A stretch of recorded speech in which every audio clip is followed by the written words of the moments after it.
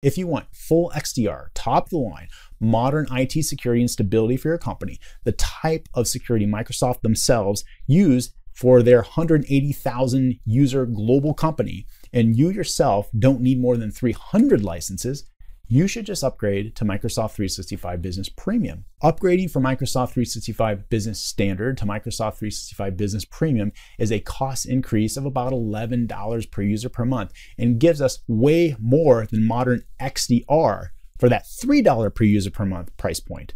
So in reality, we can get that EDR for $3 and then we get all this other stuff for an additional $8 per user per month. So for that total additional $11 per user per month, you get a complete cloud IT infrastructure for your emails, files, phones, app, security management. And I'm going to come back and talk more detail on that shortly.